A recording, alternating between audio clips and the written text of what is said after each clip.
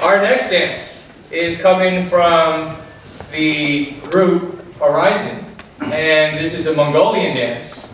So let's get excited and give a round of applause for the Mongolian dance coming up right now. Round of applause.